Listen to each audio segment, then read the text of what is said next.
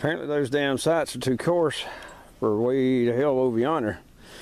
So we got two more hits. Either these two or this two, plus one miss, one miss, one miss, and I think that was earlier, right? Yeah.